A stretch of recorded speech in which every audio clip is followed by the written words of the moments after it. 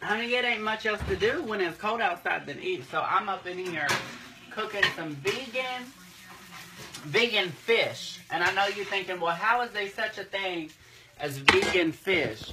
Well, I'm gonna show you how they such a thing. Right there. So that is cooking.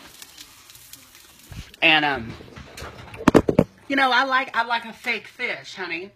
You know, when you're real, you gotta have stuff to balance you out in life.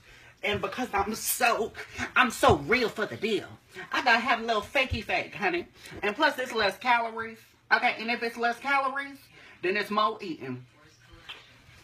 I said if it's less calories, that means it's more eating. So I don't give a damn if the fish I'm cooking is vegan and fake, honey. I'm eating that because I can have five of them of what I would eat of one regularly.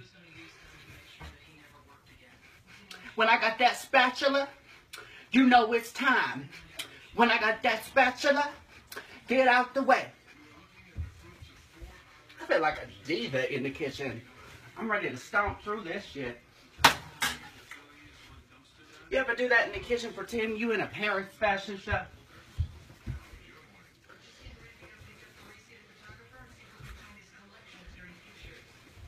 Well, hell yeah. Feel like a model and shit while I'm waiting for my food to cook, honey.